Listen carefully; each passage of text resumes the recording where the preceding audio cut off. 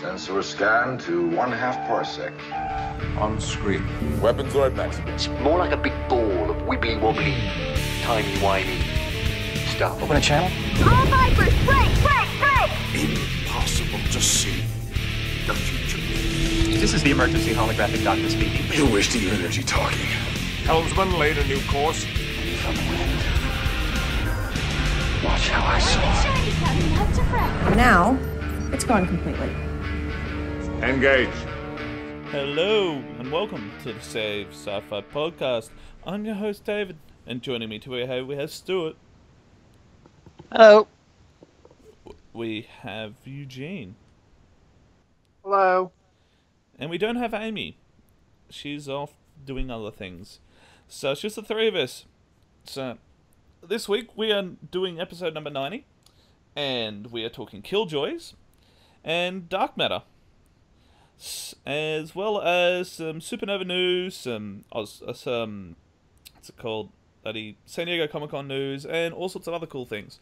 So sit down, relax, and I'm still confused as to why people listen to this, but they do. So hey, whatever. It's, it's all you guys, all for you guys. So let's start kick it off with the return of Killjoys. So Killjoys came back about a week ago, a little bit under that. Um, to a fairly impressive return, I thought. Uh, I uh, agreed. yeah. Um, so we sort of left off Killjoys with um, one of the guys being kidnapped by the old guy, whose names I can't remember. Me and names, damn it. See, this is why Dark Matter is so much better because they just have numbers. Yeah, it's so much easier. Mind you, I can never get the numbers right, but that's beside the point, damn it. So yeah. So anyway, um, so he's he was kidnapped at the end of last season. We pick up with him escaping and breaking back in to get back at the boss, the, the big guy from the big bad from last season. Turns out he is actually hallucinating while being converted into a level six. Um, and level six are, yeah, I call hacks. Just saying.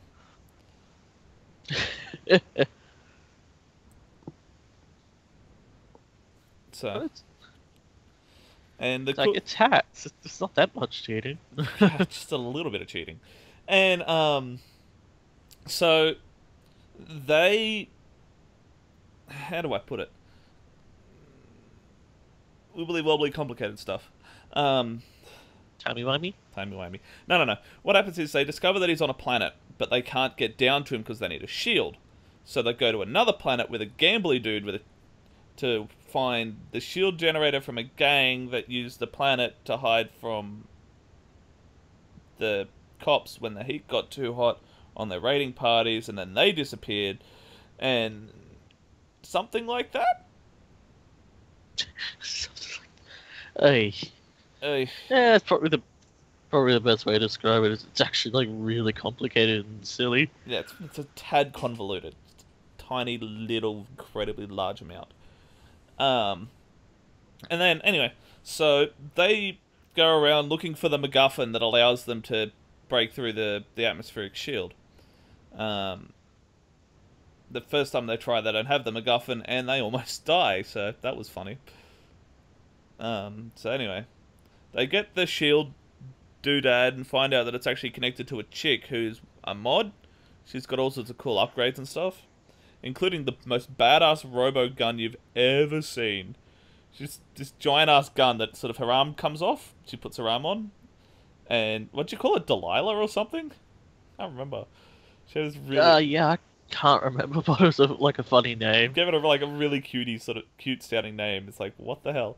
She puts it on. It's just a just a triple multi-barreled gun at the end instead of a head. It just goes it just shoots everything. So that was pretty funny. Uh, it sort of reminded me of um, Replicata when she had the sword on her arm. Similar sort of thing, but a gun. And so they es- eventually escape out of the place where they find her because she's got the shield embedded in her, and get back to the planet. Get in the meantime, the other guy's been in trying to. The other guy's trying to be upgraded to level six, but he rejects the green goopy stuff. He's immune to it or something, which is like the first time that's ever happened. and um, that's when the big boss guy, who's I'm trying to oh, I know where I know him from. Sorry, mental blank on where I. This guy reminds me of the dude from um, Sucker Punch, the old guy from Sucker Punch. I'm not sure if it's the same guy, but that's that's who he reminds me of. So the old guy Sucker Punch man. The bu- who turns out to be a bus driver at the end of that movie because I, who the fuck knows. Anyway, he eventually goes, hmm, you know what? Maybe this guy being too Im- immune to this level six thing isn't necessarily a bad idea. So I'm going to take him with me. Um, shoots all the scientists that are there to cover his tracks, and they attempt to escape. Um, in the process, um, old guy gets captured. Sucker Punch Man gets captured by what we, is revealed to be the new big bad, who is actually an organization that's above him. So, so he is, but he escapes with the Asian guy, Asian, I- Native American. I, I don't know. What was that guy? The other guy, the, the friend. Yeah, no, I know who you're talking about. I can't think of it off the top of my head. Yeah. I apologize if I, because I've probably just offended every person that listens to this show. I apologize, but Wouldn't be the first time. oh, I, I, I'm just what I do. If I'm not offending people, I'm not doing a good enough job. Anyway, so the other guy, oh, it, it annoys me. I'm, he's, uh, anyway, not the point. Um, the point is to escape with him and get back to the ship. They turn around, shoot him square in the face because he's secretly a level 6. And they're just like, what the hell? He was our friend. No, he was a level 6. Watch. Bang. Heals himself. They're like, what the hell? So, yeah.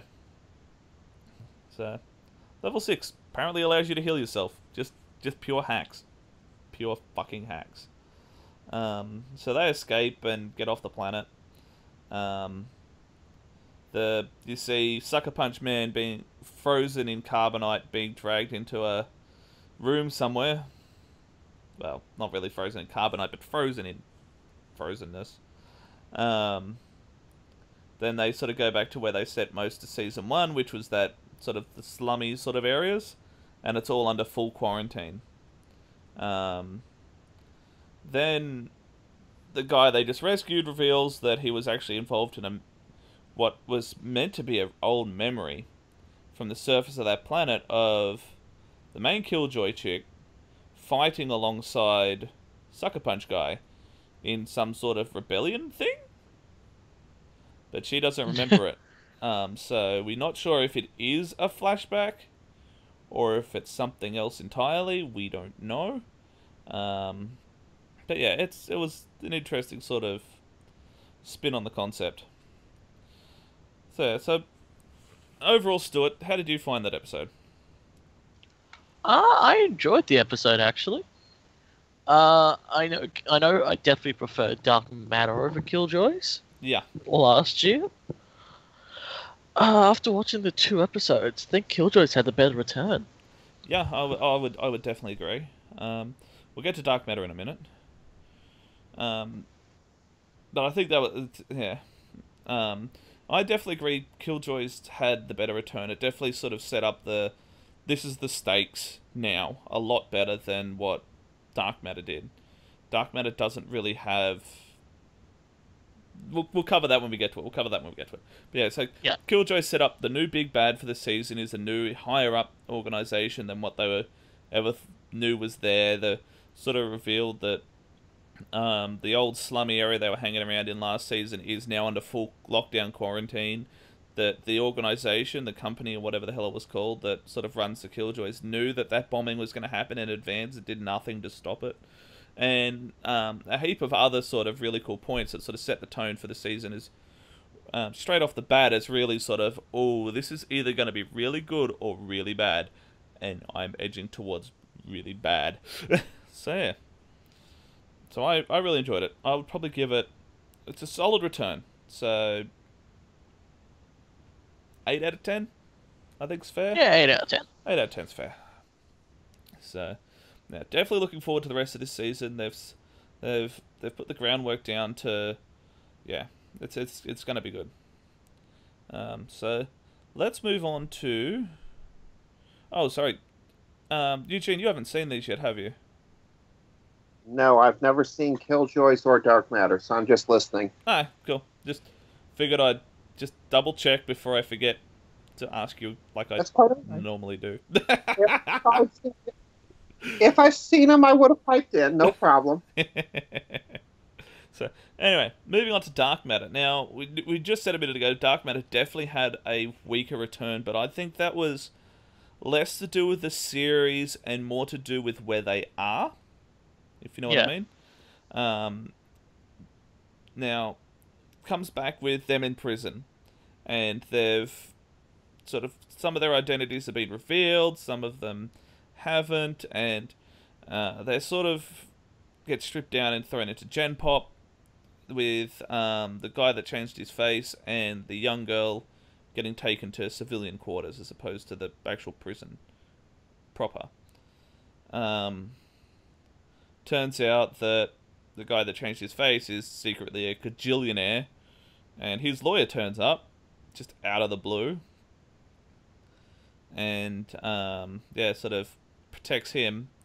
Girlie gets protected by the by the guy that betrayed them, and the others sort of work their way through Gen Pop, kicking the crap out of people. So yeah, yeah, that's pretty much just pretty much the entire episode. It 20 seconds. It was just. It, uh, it felt really. Uh, what's the word to describe it? Prison breaky? All over. All, I was going to say all over the place. Yeah, it did. It. it yeah, it, because of the way that the crew has been divided, there's you got three of them are in the hold, in the actual prison proper, um, and it's a multi-gender prison, so males and females are just sort of running around and together, so it doesn't really matter. Um, so you've got the android is currently being serviced and they're trying to access the data in her and she's like well if you try and do that i will just format myself. Have fun getting nothing. And um, they're like you are you're our property now. Why won't you listen to us? Because i don't like you. And they're like what the hell? Fucking androids um the the girly and um the rich guy and the the black guy who turns out to be uh, secretly a FBI sort of cop dude are all sort of in crew quarters and they're sort of chatting. Um, yeah, it's. Uh, I don't know if I like that turn. What? It- I don't. Th- I don't know if I like making him a cop. I don't think it worked. Yeah. Um, it was it was interesting. It's an interesting spin. Um, I very highly doubt he's going to stay a cop. I'm just wondering how long it's going to take them to break out of that prison. The Oh, unbreakoutable it- prison, I give it four episodes, five episodes tops. Really, I was gonna give it three episodes. Yeah. Well, the Stargate guys are known for only having like if they have a big issue like this, getting out of it within sort of three or four, like two or three episodes. Of, um, like even the when Atlantis was adrift, that was only really two episodes. Yeah.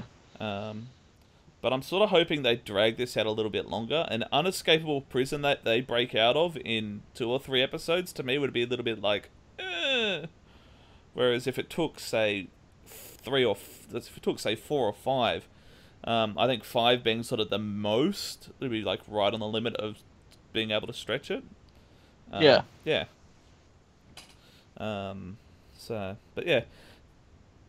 Uh, oh man, actually, Stuart, you know what? I'll let you do the rundown on this episode. Okay. Um. So yeah. Uh. So yeah. Basically, um, they do a recap of season one. Um. Then it wakes up with. Oh, I've got to remember the numbers now. Oh, jeez, it's hard to remember. Uh, one. Or is she two? Is the chick one or two? I can't Jeez, I remember. can't remember. Anyway, I don't remember. Anyway, main main main captain chick Mal. We'll just call her Mal. what? She's femme Mal. There's no way she's not femme Mal. Just saying. But where's Wash? Sorry, too soon. Wash is the android. I don't feel she care that much of. You know, I'm gonna leave that alone. Yeah, no, hey, I'm just saying we we covered this last season. You've got girly is Kaylee, big guy that gets the shit kicked out of him. that's why we did do this. Is um Jane. The guy that shades his face is effectively the doctor. Um, I can't remember who we decided the black guy was. But anyway, that's not the point. We've, we've already done this.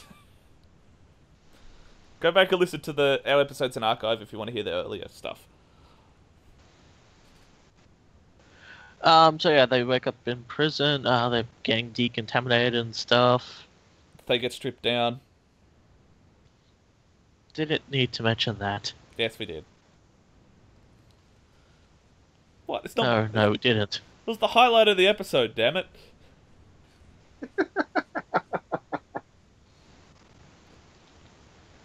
Hey,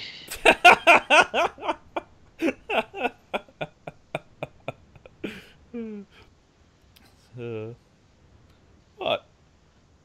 hey. So they still have their underwear on, just in case you're wondering.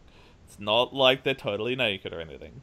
Because then they turn, because it turns around and it's like, oh yeah, by the way, that that girl that's been hanging around with you guys, yeah, she's 16. They say that later on in the episode. It's a little bit like, oh yeah, that's ugh. Um, Ew. slightly awkward. Moving right along. Moving right along. Eh, glad no one tried to do anything. Yeah.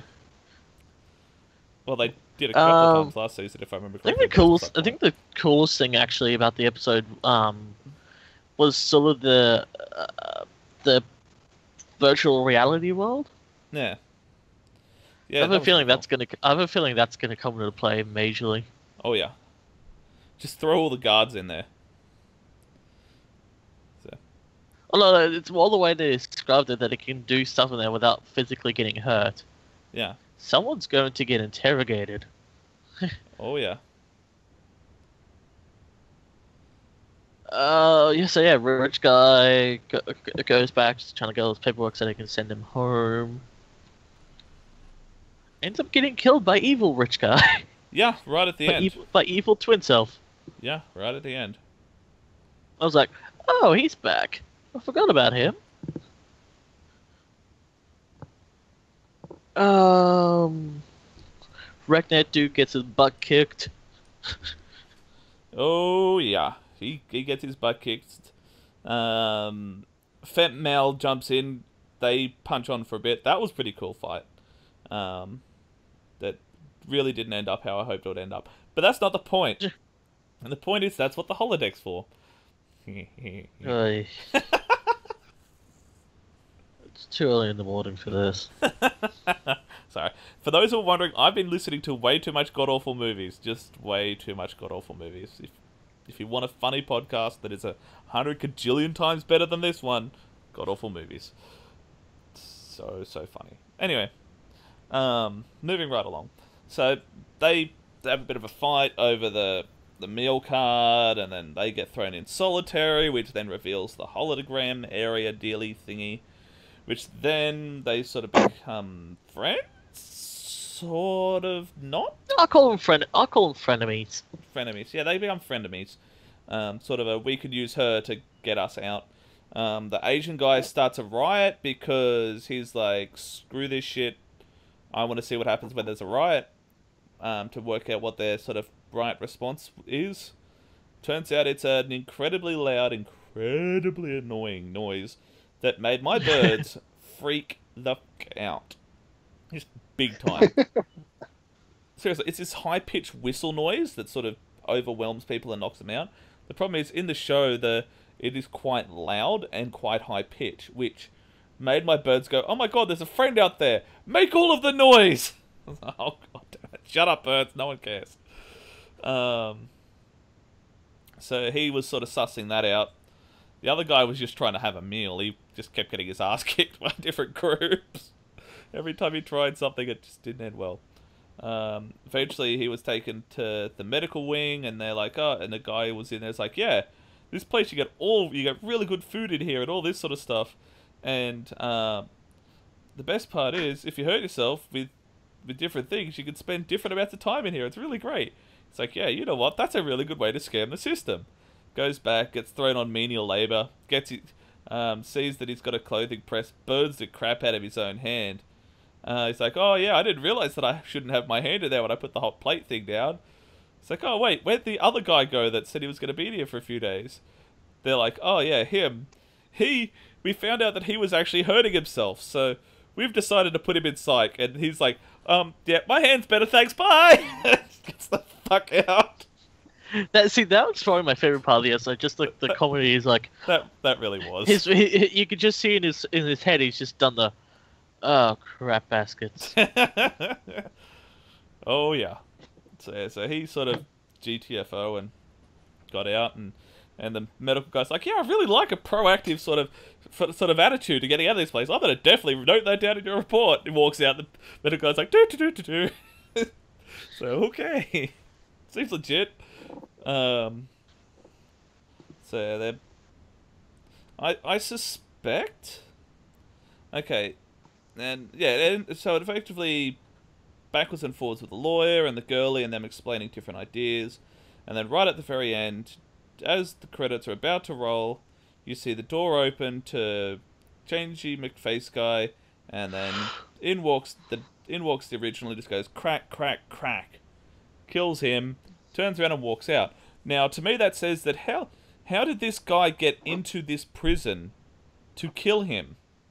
No, no, he's not on the prison. He's on the planet. He's at on the this point. He's on the planet, is he? Oh, that explains it.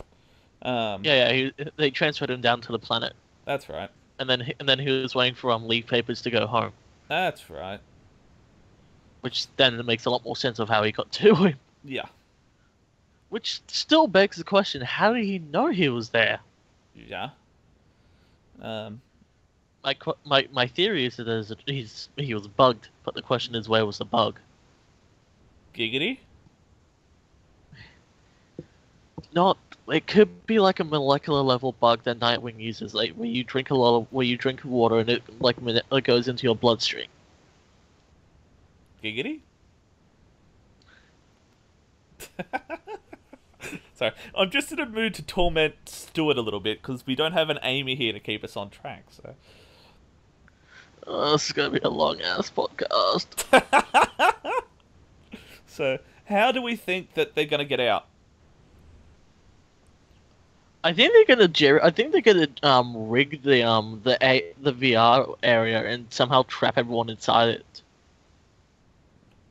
I think they're going to. Um, Or crazy or crazy McChangey face dude comes and gets everyone out. yeah. Nah, I. I think they're going to use the sonic wave against the guards. Because that's a fairly sort of standard tactic for the Stargate writers. Um, and since it's those guys that are making the show, it's fairly simple to sort of look at how they attacked problems in the past and predict how they're going to do it. Um, they're going to. They won't be able to steal the, the, the earpieces, but they'll do something which will change the frequency of the noise so that it only affects the guards. Oh, so like a like a uh, uh, reverb. Yeah, pretty much. Take which takes the guards out. Um, from there, they'll then use their knowledge of and Gurley will probably be the one that does that. Um, she'll she'll she'll hack the hacking to to do that. Was she taken somewhere? So Um, yeah, well, she sort of was, but I still suspect that she's not that far away. Um, either her or the android, depending on what happens to the android. it probably makes no sense. Yeah. Um, then you've got um, the black guy will definitely help them escape. Like he'll regret dobbing them in and help them escape. He's he's already heading down that path. Um, especially with Gurley being taken, and then they'll probably spend um, the next episode or two after they get out getting Gurley back. Um, I'm not exactly sure what the hell they're going to do with Mister Shot in the head, because he is pretty dead. Yeah, Unless they're gonna bring the, unless they're gonna bring evil the evil version of him onto the ship, which would be interesting. Um.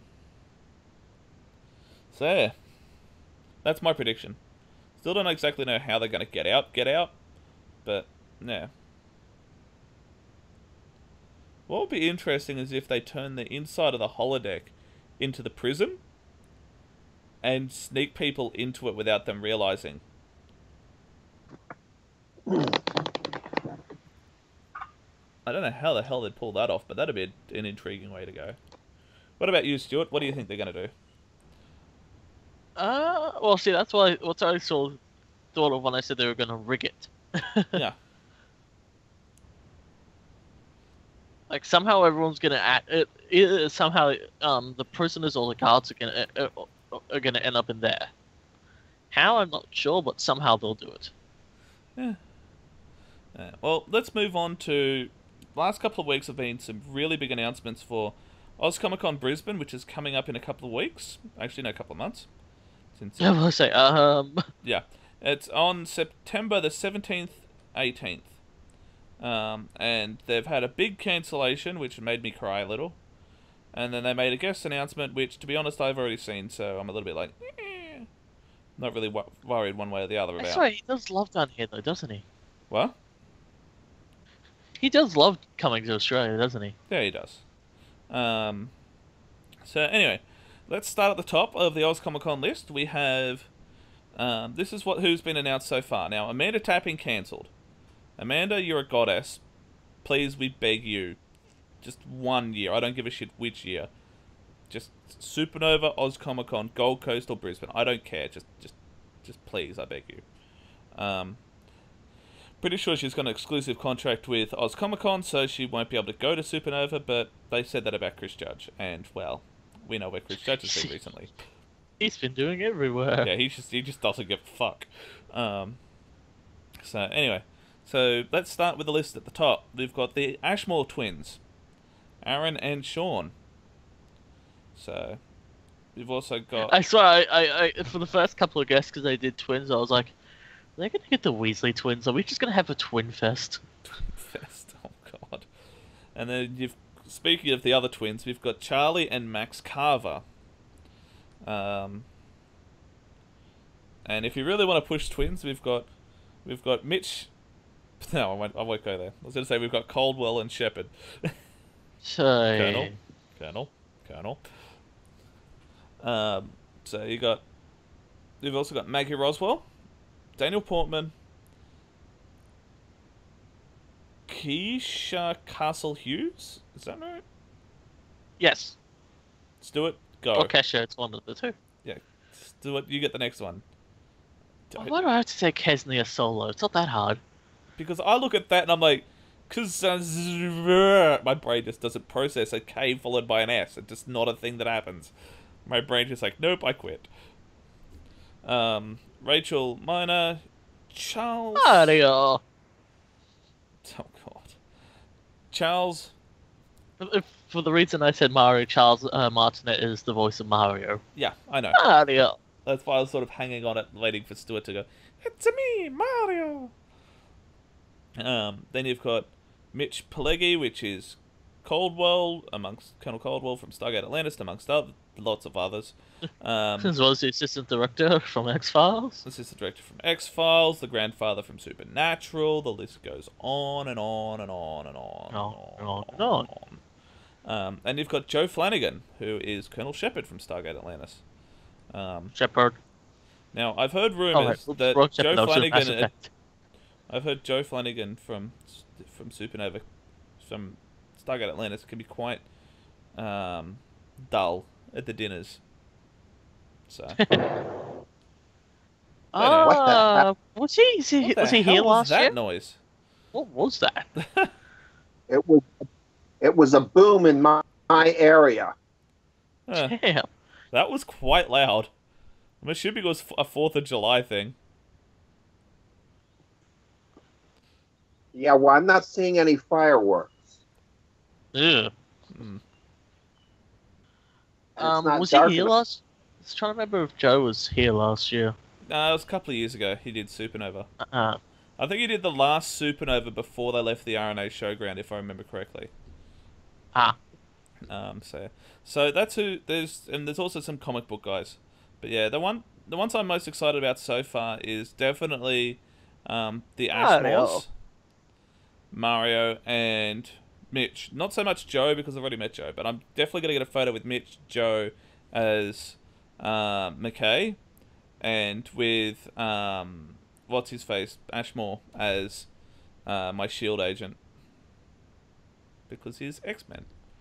So pretty sure that was Shawn. Yeah, Shawn.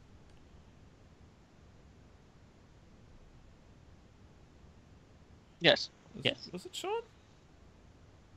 Yes, Shawn was Bobby. Yeah. So I know it's hard to say. It's like, uh, yeah, no, Shawn was Bobby. Damn it, Bobby. and then you've Moving got on to Supernova guests. okay, Supernova guest. Supernova has dropped a- the gauntlet. oh to say they have dropped a few bombshells doesn't quite cover the bombshells they have dropped. Um, we'll leave the first two on the list until last. Because Oh, okay. because I'm just mean like that. So you've got Claudia Wells from Back to the Future. Um, so I'm definitely going to have to get her to sign my Back to the Future cars. Um, Lucy Hale, who's from Pretty Little Liars, Canadian Story, Once Upon a Time, it's uh, a Cinderella Story, Once Upon a Time. Once Upon a Song. God damn it. My brain is just not friggin' working. It's a horrible movie, don't worry. Yeah, that's why my brain doesn't work. It's like it's like it's so horrible at breaking the brain. Um, then we've got somebody who's coming for Stuart. Yeah. Who's coming for Stuart? Steve Blum, the voice of, Z- of Zeb from Star Wars Rebels. Makes me so happy. And then we've got Veronica Taylor from Pokemon Teenage Mutant Ninja Turtles Sailor Moon, and Mary Elizabeth McGlynn. Do you know who she is in, po- in Pokemon? She was Misty, wasn't she? No, she was Ash. Oh yeah, that's right. She's come. She's come over a couple of times. Yeah. Yeah, Gold Coast, Melbourne 2014, and Perth, Sydney 2015. Yeah. Um, and then you've got Mary Elizabeth McGlynn um, from Ghost of the Shell, Cowboy Bebop, and Naruto. Who was she in Naruto again? I think she was um, Um, uh, um, Sakura. Kurenai Sensei. Who? Oh yeah, that's right. Yeah. She played- Because because Jody wants to go me too. Yeah. Okay. Then we've got the It's big like, well, I know what cosplay you're busting out for, huh? Then we've got the Now comes the gauntlet. Oh yeah. Now this is the moment that Supernova effectively looked at Oz Comic Con and said, "Bring it." Yeah. We have Jason Mewes, and for the love of God, if they bring him out and not Kevin Smith, I will force choke them. Well, they had Kevin Smith last year, remember? They had both of them last year, but they didn't do signatures or anything. Yeah, well, they did a show, that's right. Yeah, he's actually, as far as I know, he's actually doing signatures. Yeah, he No, I is. thought, I thought, no, I, I thought Kevin Smith was doing signatures last year, and then they both did the show. Um, I don't think Kevin Smith did signatures. Because I think he sold a couple of things that were pre-signed, but that was it. Okay. I don't think he did signatures. Otherwise, I would have been just sort of like, oh my god, blah, blah. But I did not have like the three hundred dollars needed to get a Kevin Smith signature thing. I was like, yeah, no, fuck yourself. Um, so, but seriously, if they bring out Jason and they don't bring out Kevin, that's a bitch slap. But the big news, the the big the big Kahuna, Nathan Fillion is in the house. Now that Castle is gone, we get Nathan. Yay! and to be honest, if it comes down to Nathan or Joe, it's, that's we all know it's going to be Nathan. no contest. Nathan Fillion all the all the way. So, um, Nathan versus Amanda, on the other hand, that would have been a tad more annoying. So, so, so I'm looking forward I to. still think Oz Comic Con have someone big up their sleeve. They're far from announcing people. I know they're, they're, they're always announcing new people. Um, still find it amusing. I'm blocked on their page. Yeah, well, I did. I, I applied to be a volley for Oz Comic Con. Uh, you never know. You could end up babysitting Joe. Well, no, I put down because you get to put down um what, what areas you like to work at. Yeah. Um, I put down uh the console and tabletop uh gaming area and just being one of the ushers at stage two. That works. It's like eh, they're pretty medial jobs. I don't have to do too much. Yeah. It's like I can stand around and do nothing. Excellent. uh, nah, I wouldn't want to be a volunteer there. Then I'd have to put up with people like me coming up to me all the time, and I really can't tolerate that. It's bad enough putting up with me as it is. So. Uh, anyway, so yeah, definitely looking forward to both of those. Um, yeah. Oz Comic Con's next. Supernova is in November, so there's plenty of time for Supernova to drop more bombs. Um, but Oz Comic Con is really. To me, Oz Comic Con was the one that always had the big name stuff. Supernova was always the one that had the secondary characters. But that is starting to change. Um, Supernova's definitely picked their game up since Oz Comic Con came to town. So, yeah. It's nice seeing a bit of. A, a bit of competition. Yeah. I'd say friendly rivalry, but Oh, it's far from friendly. yeah. So friendly is not quite the right word. Rivalry, yes. so, anyway, let's move on from that and uh, see. Um, let's head it over to Eugene for the model report, if there is one. I forgot to ask before the show. I'm a really good host. There, there's a couple of uh, interesting tidbits I've found out about. Um, Moebius has announced some new items coming out.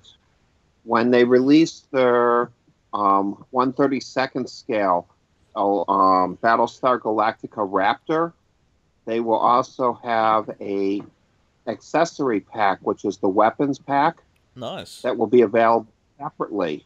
So you so you don't have to buy two separate kits. That will be available separately, and supposedly the suggested retail on that is under twenty dollars US. That's pretty cool. Yep, but it's a it's just a separate little add-on pack for it. Yeah. Um, Moebius Moebius has also been doing um, some resin figures from uh, Superman and Batman. Well, they now have a Wonder Woman one coming. The um, these resin figures are expensive. They're about a hundred. 125 to 150 dollars each US, but the detail on them does look fantastic. Oh yeah, Moebius has always been really good with their details. So Oh yes, and Moebius does actually have a vinyl uh, model kit out that is a bit of a surprise, and you can get it as either a finished kit or an unfinished kit. And the kit is of Krypto, the super dog. uh, please, please bring Superdog and a Supergirl. That would just that would just win all of Actually- everything. Actually, Supergirl had a cat. Wow. If, if you go back, if, if you go back through the story, you find out she actually had a cat. Super cat. Okay, is anyone else picturing a, just a normal cat just laying around on different things and swat and pushing stuff off shelves?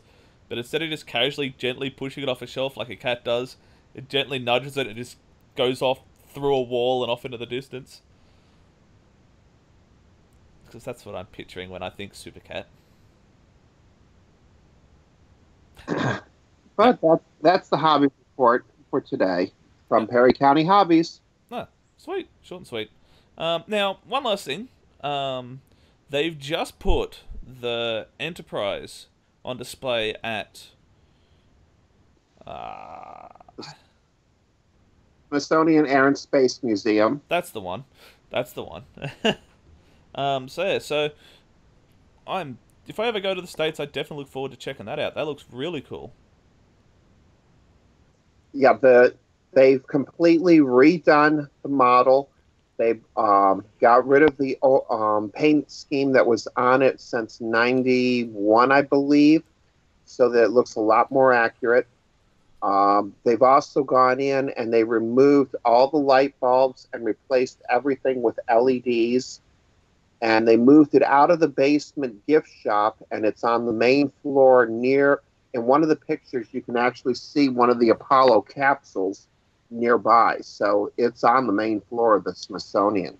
Yeah, and To be honest, if you went back 50, 60 years and you said, look, this thing that you're building is going to be on this floor of the Smithsonian in 2016, the main floor next to the Apollo stuff, what do you reckon those guys would say?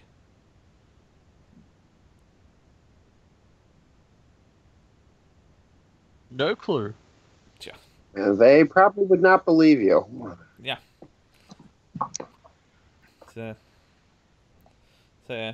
Um, yeah, that's really cool. I would, oh man, I so want to go over there. Like one of the few sucky things about being in Australia, like apart from the fact that everything tries to kill you constantly, um, is that America has so many cool things and so many terrifying things. But that's beside the point. So, anyway, Stuart, you have 20 minutes to do the news. Well, you forgot one item on the news. Or before that, you forgot one item that we were going to cover. Oh, yeah. Totally forgot. What was that again? The petition. Oh, the, The petition. petition. Michael's petition. Wow, I can't believe I totally forgot about the petition. Especially since it's just reached enterprise signatures. For those who don't know, it's 1701. Um, so, uh, uh, let me. I don't actually have that up. Stuart, do you want to read the petition or.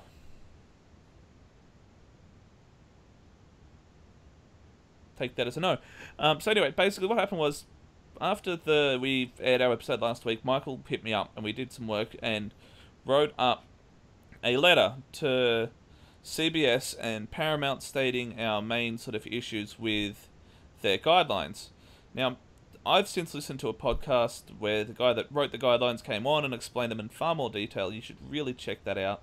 That's on the, I think it's called Engage, which is the official Star Trek podcast.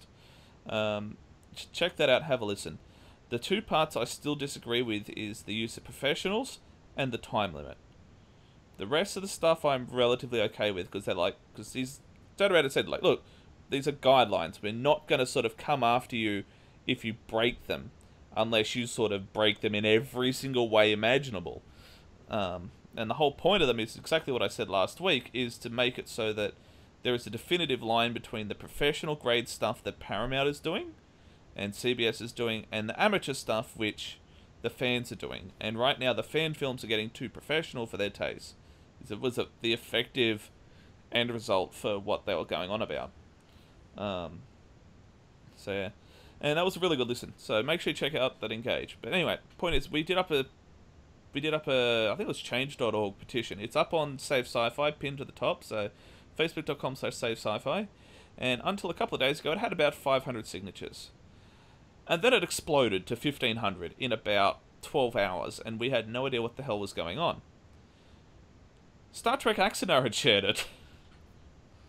And as a result, overnight, this thing's gone nuts, and it's sort of been holding about 100 to 200 signatures an hour since.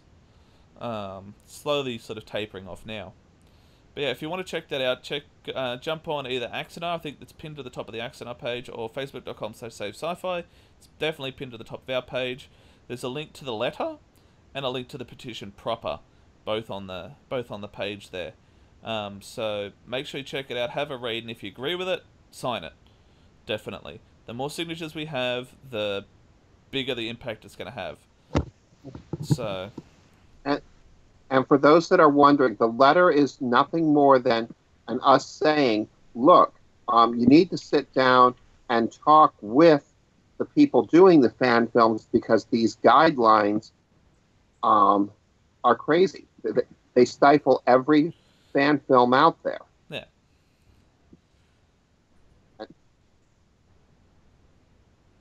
So, like I, yeah, like I said, I do understand where they're coming from with the guidelines. Doesn't mean I side with them. Like I said, there's a couple of key points I definitely disagree on.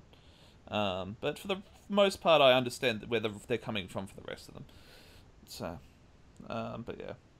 But definitely read the letter before your response. It is not hateful in any way, shape, or form. It is. We intentionally wrote it so it would be calm and rational. We even rewrote it about a half dozen times um, to make it as neutral as possible. Um, all the the key points are. This is a severe limitation because of this reason. This is a limitation because of this reason. Um, this is why we do fan why we do, and you should. It'd be really good if you sat down and had a, a discussion with the creators, so that you guys could come to terms as a as a whole, as a fan base, and as a group, as to where these lines should be. And CBS and Paramount have been working on these guidelines for a couple of years now, according to the guy, but only because of um, a recent lawsuit, which was Axanar, um, has it sort of come to a head. Now, it's not only Axanar that caused this, because a lot of people blaming Axar. I want to be 110% clear. It is not Axanar's fault. The direction of fan films was becoming more and more professional. If it wasn't Axanar, it was going to be Renegades. It was going to be Horizons. It was going to be Continues. It was going to be any of them. It's just that Axanar was the first one that was that was really really big. The others were quite large too. It just Axanar just happened to be at the top at, the, at that exact moment that it sort of happened. So do not blame Axanar. Um. So and don't blame CBS. Don't send hate messages. Don't send any of that. It's it's a, an adjustment period, and we've got to sort of adjust. And it's not just our side that has to adjust; it's both sides. So yeah. Anyway, that's my thoughts on that. Stuart. Yes. News. You got any news? You want to do the news? Did you, you got Yes. any more thoughts on the petition? Just really quickly. Nope, that's all. That's all. Uh, cool. Time for the news. News. So yeah, um, so as we learned a couple of weeks ago, uh, the Flash uh, season three uh, return episode is going to be called Flashpoint, and there's been a lot of uh, people wondering if that's going to affect any of the other t- uh, shows, us included. So Stephen Amell had a panel at uh, Heroes and Fan Heroes and Villains uh, Fan Fest over the weekend, and um, someone asked him if Flashpoint's going to affect him. Now this is gets where it gets interesting because he was quoted for saying yes, but he sarcastically said yes, and then and then straight after said I have no idea whatsoever. But people actually took that as a serious yes. Yeah. Yeah, took that as oh shit's gonna go down. Yeah. Because in the when Flashpoint happens, uh, in the timeline, in the in the miniseries and in the movie, um, he owns uh uh Green Arrow Industries. Yes, it's actually called Green Arrow Industries. Wow. And uh, what it is, it's that it's a mil- uh, um he takes military um it's a military company, but they take super weapons from villains. Think think Robin Hood, but on a much larger scale. Fair enough. And so a lot of people think that might happen, or there's another thing because a lot of people have been ref- have been seeing that the whole Batman and Arrow thing are kind of uh, like they've been using Arrow as the Batman. Yeah. That um if they do the timeline swap, um that um Oliver's dad will be the Arrow instead of Oliver. Ooh. Since in the um, Flashpoint comics, it's Bruce's dad, Thomas, who's actually Batman. That'd be an interesting twist. Bring the dad back and have him as the arrow for the first little bit until the flashpoint sort of settles We down. won't. We're not going to find anything out, at least for not for another couple of weeks until Comic Con. Oh yeah. because both both shows are at Com- both have both shows have panels at Comic Con, include as well as Legends of Tomorrow and Supergirl. So basically, all the DC shows all have their own panels. Nice. So we will be getting a lot of news in a few weeks. Oh man, the things I would do to go to Oz Comic Con. Uh, sorry, Oz Comic Con. San Diego, San Diego. San Diego. SDCC. Think, yeah, things I would do to be able to go to um, Star Wars Celebration, Oh yeah. which I'm going to move along to because we now have um, panels, panel names for um, for um, Star Wars Celebration. Ooh. We know that there is a um, so Mark Hamill actually has his own panel. Ooh. Please tell me See, he's going to be Sparkly Ghost. They're going to stand him off to the side of the stage and use like the the age old sort of hologram trick of a thin pane of glass and some green light to make him into a ghost because that would be hilarious. See, we know um because Ro, uh, sorry, episode eight actually finishes filming on the twenty second of July, which is just after um celebrations. So I know they'll have. I know they've got something to show. oh yeah.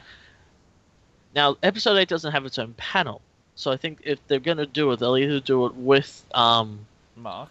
In the Mark Hamill, or they'll do it. Um, there's another panel at the end. I've got to look this up quickly to get the name right. Yeah. But I think they'll either do it at the beginning of it or at the end of it, because Rogue One has its own panel, so there'll be a lot of Rogue One obviously, as because um, uh, uh, um, Because considering how much shenanigans is going down in the way of Rogue One, it doesn't surprise me they get their own panel. Yeah. So yeah, um, the last, the last, the closing ceremony, um, is uh the future filmmakers, and so in that panel it's got um Kathleen Kennedy, Pablo Hidalgo, Rian Johnson, who's the directors of Episode Eight, and then Chris Miller and Phil Lord, who are the directors of the um young Han Solo film. So I think they're going to drop it, it'll either be at the beginning with Mark Hamill or at the end with Rian Johnson. Yeah, and it makes sense to maybe do a little bit of both. You want to see the rest of this, go to this panel. That's where the other half's going to be. And then everyone's just going to be like, well, fuck you, Mark Hamill. Yeah, there's there's a lot to do. Um, there's like there's a lot of panels. oh, yeah. As I said, Mark's got his own panel. Um, the um, uh, Carrie Fisher has her own has her own um, talk, has her own thing. Uh, Ray Park's got one as well. Darth Maul. Um, so there's a lot of the Rebels have their own, obviously. So we'll get Rebels news as well. So there's a lot of stuff coming out in the next couple of weeks. Um, July 15th to 17th is um, is celebrations, and Comic Con is the weekend after. So Nice. So it'll be it'll be a busy it'll be a busy uh, couple of weeks getting all that news down. Oh yeah. Now just really quickly, just back on the note of San Diego Comic Con, Deadliest Fandom is going to San Diego Comic Con. So if you want to catch up with um, Giga Edgley and EJ and the others, make sure you check them out when you go to San Diego Comic Con. They're going to be there. They're going to have a lot of fun. I really, really wish I could be over there with them, um, for so many, so many reasons. Unfortunately, I can't. Um, but just why? Why can't I be? Just I want to go to one San Diego Comic Con, damn it. Um, but right now they're calling for volunteers. So if you are in the States and you want to go to San Diego Comic Con, make sure you jump over to the Deadliest Fandom page and send us a message. Facebook.com slash the Deadliest Fandom. Um, so yeah. Eugene, you want to go to San Diego Comic Con? Uh, unfortunately, with my job right now, we won't discuss uh, um, everything I've got going on between now and uh, September. That's fine. That's fine. I just the, the only person on the podcast who's in America that might stand a chance to be able to go. Michael can't go because he's got uni. Otherwise, he would go. GB from HawaiiCon's going to be there. So, speaking of which, Stuart, bring up the HawaiiCon guests because they're on at the same Oh, time okay. as Oz Comic Con. So we haven't given HawaiiCon a shout out in a while. Um, Wait, is HawaiiCon really on the same weekend? uh, it's one week either side. It's always it's always middle of September. So because yeah, because GB's going to um Oz uh fucking Oz Comic Con, San Diego Comic Con, as well. So Yeah, so yeah, I've got the HawaiiCon guests up. excellent. So we have uh, Eugene Rod Roddenberry. So we're basically Gene Roddenberry's son. Yep. Uh, we've got Nichelle Nichols, who's a who's just one of the nicest people you'll ever meet. Oh yeah. Uh, we've got Walter Koenig. Best part about Oz Comic Con? Uh, sorry, Hawaii Comic Con? I'll get that right eventually.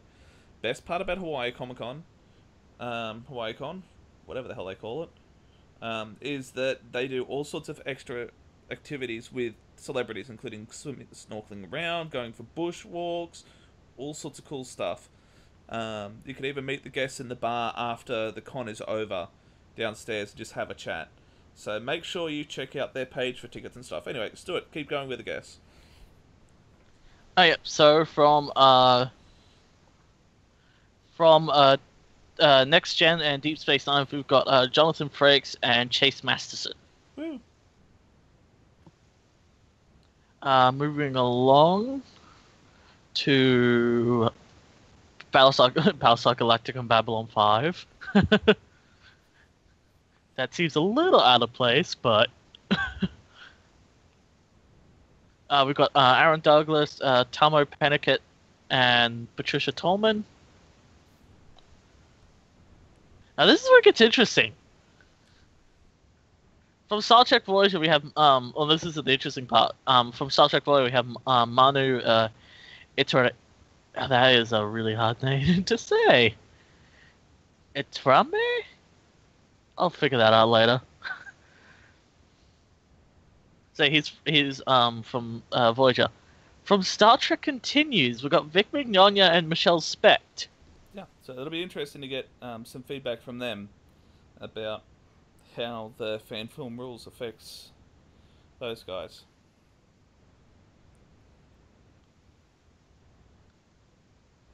So yeah, um, then um, we've got some voice actors. We've got uh, Nikki Rapp um, and Kaya Morrison, and then obviously Vic. This Vic just does everything apparently these days. Yeah, if, if you can find a con that Vic isn't at, it's not a good con. He is at all of them. I'm pretty sure at this point there is multiple clones of him. So, Yeah. that way, he finishes a con, he hops in a plane, he lands, he hops out of the plane, he's at another con. He hops into a plane, he flies, he lands at another con.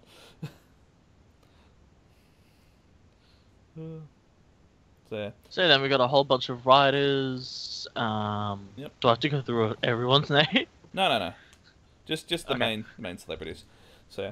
So make sure to check out HawaiiCon. HawaiiCon is awesome, and one of these years I'm going to go to that instead of Oz Comic Con. But not this year because I don't have any money. Maybe next year when it has the money. Look at there eventually. Yeah. Oh yeah. So yeah, uh, Thor Ragnarok has started filming. Yep. On the Gold Coast. So I'm going to be. Um, oh no, I can't actually mention that I'm going to be down there tomorrow. Oops. Whoops. So yeah, they're filming at Village Roadshow, Roadshow Studios in Oxenford. Yeah, which is movie world for those who live in Australia. Yeah. And I know that different areas you can actually. There's a couple of streets in behind the cinemas which are like really, really high. If you've got a big enough sort of lens, you can actually see in and take photos. But again, I didn't tell you that. we know nothing. We know nothing. See, I see nothing. I know nothing. No nothing. Oh, Hogan's Heroes. How, how much you deserve a reboot. But at the same time, it just wouldn't work. Oh, Hogan's Heroes. Moving right along. Oh, I am moving along to Samurai Jack. Okay. So uh, Samurai Jack was an, is coming back is coming back for a final se- uh, se- uh, season this year to finish off the story. Uh, it's going to be set 50 years after the the previous season, so big time gap. Big big time jump. Um, but uh, it's going to be very very dark. Like dark darker than what it was. That's impressive. Yeah. And I loved Samurai Jack growing up, so I hope they do this well. Yeah. Also, there's a really um, there's a really interesting rumor that apparently um, Ghost Rider might appear, be appearing on Agents of Shield. There's Ooh. a there's a bus. There's a picture that was circling um, a couple of weeks ago, um, of a bus in America that had Agents of Shield, and then it had like a f- uh, um, had Agents of Shield, and underneath it, it had like a flame chain, like a like like Ghost Rider's one of his chains underneath it. Ooh. and a lot of people. So there's a lot. There's a kind of a rumor going around that could be that he could come into Agents of Shield. That'd be interesting. That would be very interesting. Because I wonder how they would keep him. Um, I wonder how that would work. Yeah, probably a guest spot. Uh, anyway, that's it for this week's podcast. Thank you very much for listening. Make sure you check us out at facebook.com slash save sci-fi, facebook.com slash save sci-fi podcast for your podcast related news, facebook.com slash deadliest fandom. This week we are celebrating the 4th of July with 4th of July themed uh, versus images, including this week's one, um, today's one, which is uh, Maverick from Top Gun versus um, Lieutenant Hiller from Independence Day in their fighters, F 14 versus FA 18. Should be fun. Uh, make sure you look us up on all the different places where podcasts live, iTunes, and all that sort of stuff. Check out Perry County, Nobility, and HawaiiCon. We shall catch you next time. Bye. Bye, everyone. Bye, everyone. Bye, everyone.